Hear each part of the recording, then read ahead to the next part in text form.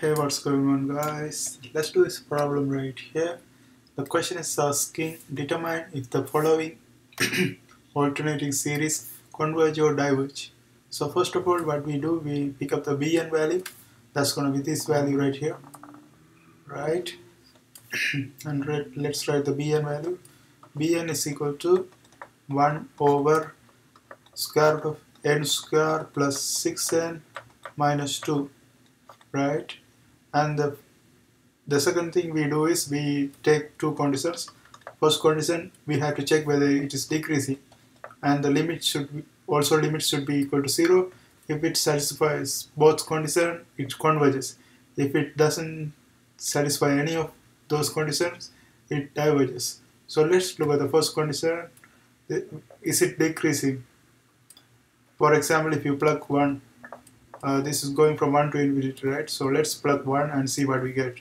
So if we plug 1 this is going to be 1 square square root of 1 square plus 6n minus 2 so this is going to be 1 plus 6 minus 2 that is equal to 7 minus 2 that's going to be 5 square root of 5 right? And then next value if we plug 2 1 over 2 square is going to be 4 6 times 2 is 12 12 plus 4 16 minus 2 that's going to be square root of 14 and as you plug more values like if you plug 3 that's going to be bigger than this. And it's going to go like this right? And if you see the denominator values are increasing.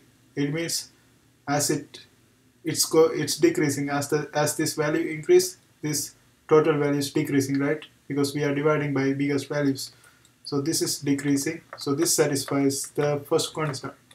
And let's look at the second condition that is limit should be equal to zero so if we take the limit of this one, limit n goes to infinity and 1 over square root of n square plus 6n minus 2 and as you can see if it's go to goes to infinity the denominator is going to be infinity right?